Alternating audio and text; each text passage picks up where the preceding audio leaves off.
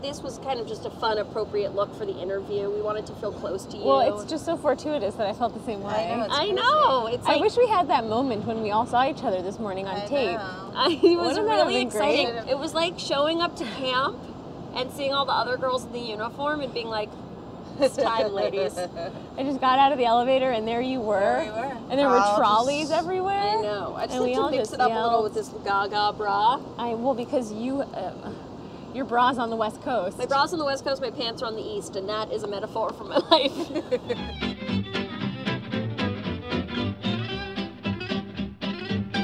So guys, can you tell me a little bit about Lenny? Like, let's say we were waiting for our Ubers. Mm-hmm. This is like the Chris Sacca pitch, and mine was going to be here in two minutes, and I needed to know why I need to sign up for Lenny Letter. What would you say to me?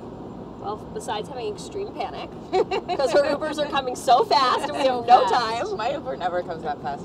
Um, I would say that we are looking for uh, a fun, feminist, snark-free place on the internet that can be a really positive place, but also a really funny place.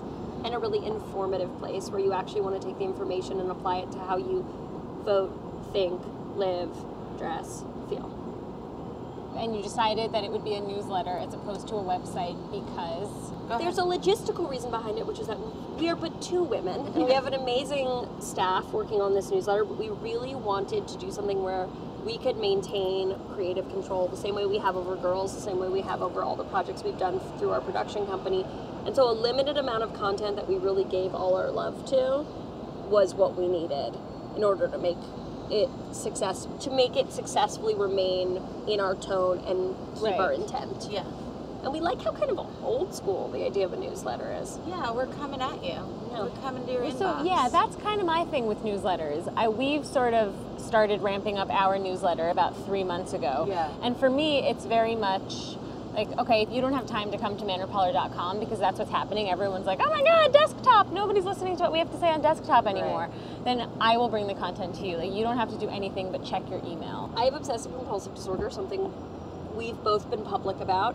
And one of my biggest OCD things when I was younger was reading Us Weekly. And when a couple would break up, I would have to explain a perfect narrative to myself of what happened in their relationship. Like starting from the moment it began to fracture to the moment that they said they weren't going to be together anymore. because the tabloids weren't doing enough of that. Yeah, I felt like I needed to fill in the blanks and I needed to do it perfectly. And if there was a moment where my brain paused, I needed to start again. Incredible. So there's never been a more like pop obsessed OCD tick.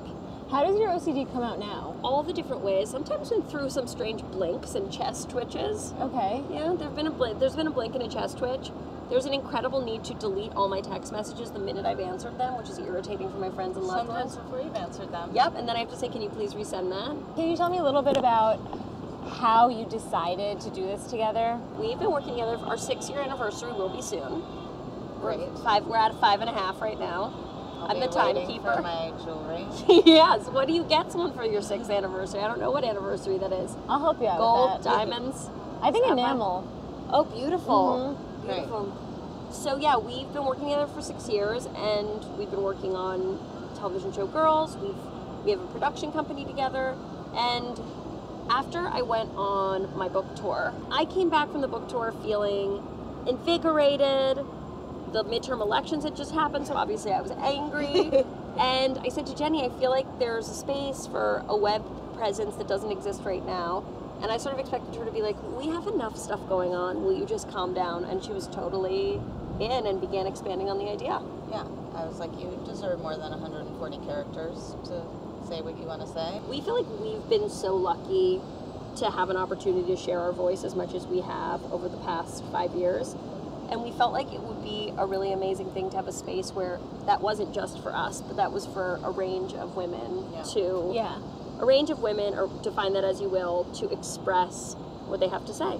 I was just in the edit meeting yesterday, finalizing our first month and a half of content. I'm just excited because I feel like it really expresses the range of women and viewpoints and topics that Lenny represents, while sort of maintaining a cohesive, like funny but kind voice. Yeah. Does the world know about the future of girls?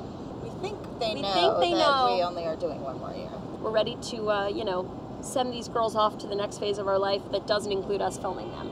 And then after I'm- this year, are you going to focus more intently on Lenny, or are there other? No, we're doing right now. We're shooting a pilot with HBO that hopefully that's Okay. about second wave feminism. That'll hopefully be a series. Yeah, we're working on a documentary about um, a tailor who makes suits for transgendered and gender nonconforming people. Our whole goal with our production company was we wanted to do something that was like pushing the ball forward on conversations about gender in an amusing and enlightening way. And we've so far, you know, gotten the pleasure of beginning on a bunch of projects that we think and hope do that. You really are making very difficult conversations feel easy to have, right? That seems like a really important uh, like mode of communication that is exclusive to this millennial moment, right? Is like breaking down the really hard stuff and making it feel kind of simple.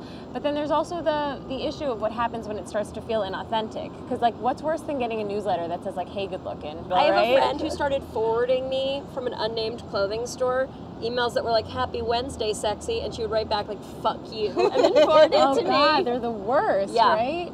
And or they'd be like having a having a fashionable Thursday, and she'd be like, "No, I'm not. My child vomited on me, and I'm lonely." And everyone's always telling me to sit down with a glass of wine, and I listen so frequently. And Right. sometimes I just sit down. I'm like, I didn't even feel like drinking today. I know, and yet here I am. Yeah. You know, we've obviously there's been some scrutiny around girls at certain points. It's just a just a little, Really? like just a titch. tiny bit. But I just feel like it's so vanilla. It's like going to the ice cream shop and asking for vanilla with nothing on Right. it. That show. It doesn't tackle any issues. But we kind of are like, well, maybe if this is coming to your inbox every week, people will stop being scandalized. Give five reasons why everybody should sign up for Lenny.